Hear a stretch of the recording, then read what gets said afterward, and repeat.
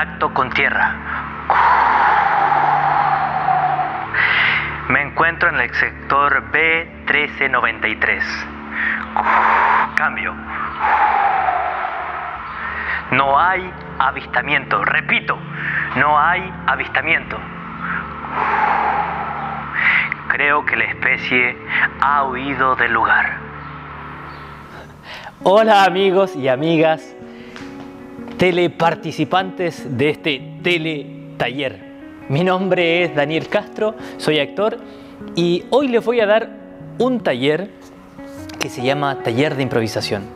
Todo esto promovido, organizado y producido por la Corporación Cultural Municipal de Ovalle. El objetivo fundamental de este teletaller de improvisación es entregarles a ustedes los lineamientos esenciales de la improvisación escénico-teatral. Pero, ¿qué es esto? Dirán ustedes. Es la manera con que los actores, ¿cierto?, juegan, se ponen en situaciones y comienzan de manera inicial a crear o inventar personajes, mundos, escenas, lugares. ¿De acuerdo? Pero para entrar en tierra derecha de lo que es una escena improvisada, que tiene poco de improvisación porque tiene muchas directrices y muchos lineamientos, tenemos que definir qué, quiénes, cuándo y dónde. Te recomiendo que este taller lo tomes en compañía de una o más personas, porque hacerlo solo es muy complejo y va a ser muy difícil y tal vez un poco fome poder jugar. ¿sí? Entonces, ¿qué tenemos que responder? Primero, ¿quiénes? ¿Quiénes somos? ¿Sí? Por ejemplo, yo en este caso era un astronauta. Pero tú puedes ser desde un niño, un explorador, un scout, un marinero, un pirata, un militar, un carnicero, un futbolista, un aviador, un profesor, una bailarina. Eh, se me ocurren miles de personajes.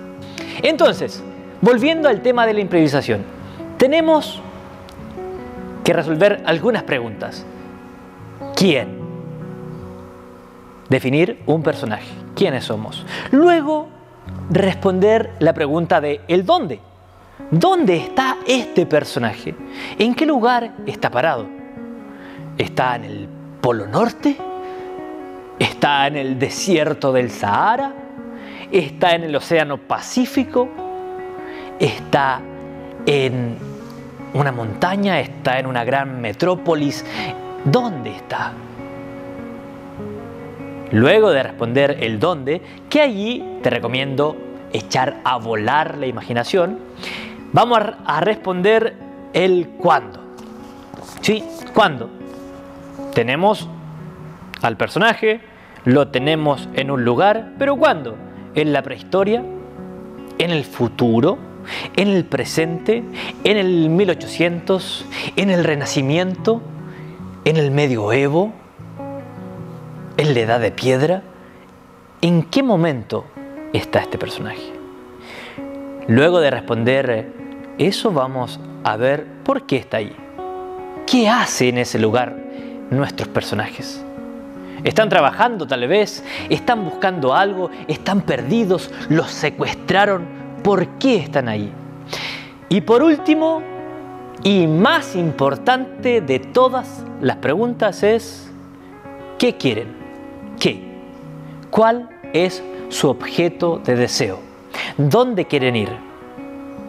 Por ejemplo, este personaje que yo estaba improvisando era un astronauta que quería encontrar a un extraterrestre que días antes había visualizado desde su nave y estaba empeñado en encontrarlo.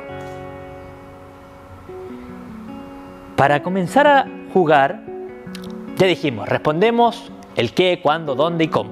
¿sí? Una vez que estamos en ese territorio, vamos a entender distintos conceptos. Conceptos que básicamente nos enseña Stanislavski. ¿Para qué? Para lograr un, una interpretación creíble, verdadera y orgánica. Y él propone conceptos básicos como por ejemplo la cuarta pared. Sí, él propone que hay una pared, una, dos, tres y cuatro.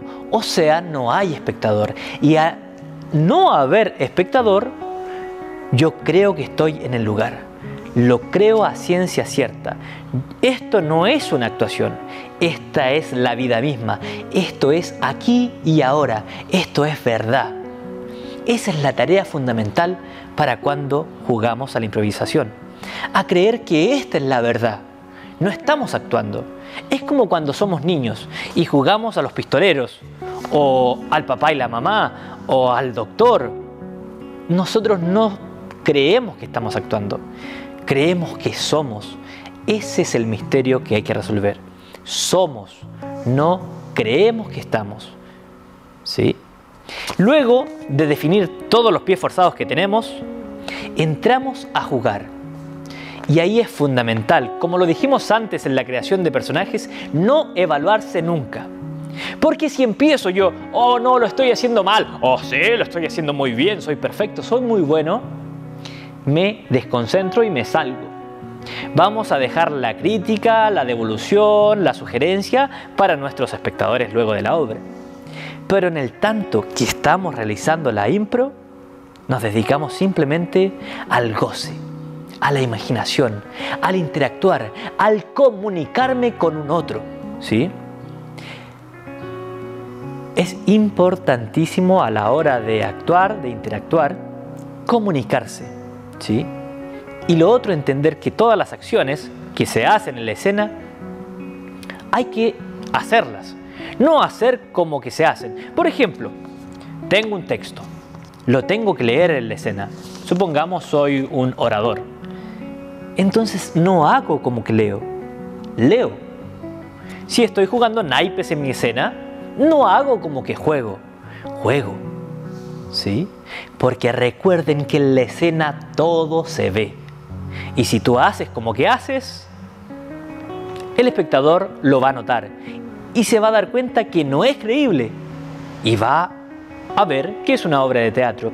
Y la intención del teatro es que los espectadores crean que lo que está pasando acá arriba es verdad. Por eso, cuando el personaje se emociona, el espectador también se emociona. Cuando el personaje vive, cree, sueña, aspira, el espectador se siente representado por el personaje y por eso se logra emocionar. ¿De acuerdo? Consejo. Una vez que entremos a jugar a la improvisación, jamás pero jamás vamos a utilizar elementos como el fuego, armas de verdad o elementos cortopunzantes. Porque como lo dijimos antes, lo que vamos a hacer es que vamos a hacer acciones reales. Si estoy barriendo, barro de verdad. Pero imagínense si tengo un arma o tengo fuego y tengo que quemar algo, ¿lo voy a quemar de verdad? No. Entonces hay elementos con los cuales no vamos a jugar.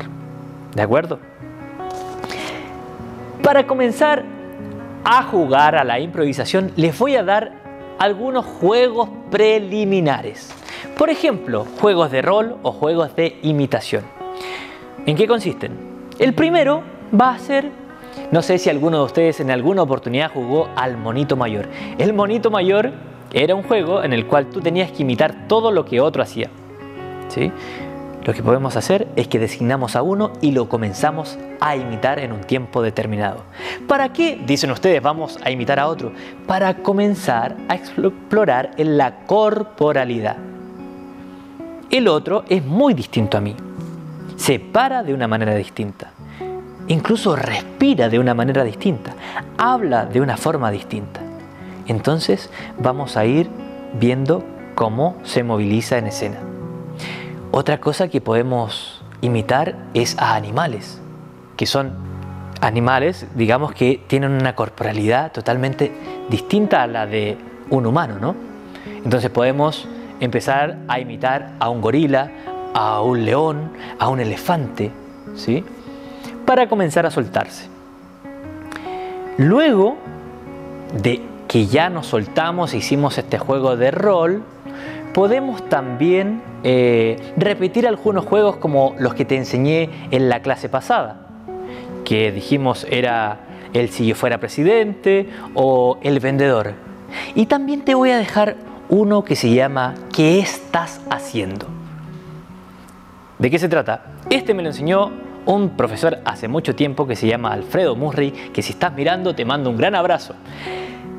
Este juego se trata de que nos ponemos en un ruedo, todos los participantes de la impro, y uno comienza entrando al círculo y hace una acción. Por ejemplo, como ven, no sé si se nota mucho, uh, yo estoy haciendo como que estoy dominando un balón de fútbol. Entonces, en ese momento va a entrar otro compañero al ruedo y va a consultar, ¿qué estás haciendo? Entonces yo voy a responder, ¿qué respondo? ¿Estoy dominando un balón? No. Le voy a dar otra acción. Por ejemplo, elevar un volantín. Entonces me retiro del ruedo entra otro y hace la acción. De esta manera, así todos van a ir pasando y van a romper un poco el miedo al ridículo que jamás debe existir, ¿de acuerdo? Importante, no se evalúen, ¿sí? Es importante para cuando empezamos a jugar, nunca, nunca evaluarse. Definimos Repasamos, rememoramos. Para la impro, fundamental. ¿Quién, cuándo, dónde y cómo? ¿Cierto? Nos ponemos en un lugar, creemos como niños que estamos en el lugar aquí y ahora. Y de esa manera comenzamos a jugar. Ahora, si tú en tu casa, con tus amigos, tienes maquillajes, le vamos sumando maquillaje vestuario. Si por ejemplo tienes una luz, le sumamos una luz. Si tienes una música, le sumas una música. Si tienes instrumentos musicales, le podemos dar un ambiente sonoro. Y así comenzamos a explorar lo que es la magia del teatro. Porque los actores, siempre recuérdenlo, son magos. Ajá. Bueno amigos y amigas, espero que este taller les haya servido como punto inicial para la improvisación. Nunca dejes de imaginar, nunca dejes de crear, nunca dejes de explorar. Y el teatro es una fuente inagotable de imaginación. Recuerda que los contenidos y videos están en Ovalle Cultura Play. Puedes revisar ahí más información y disfrutar de todos los talleres que la Corporación Cultural Municipal de Ovalle te ofrece. Eso, me despido. Recuerden, mi nombre es Daniel Castro y nos vemos en un próximo teletaller.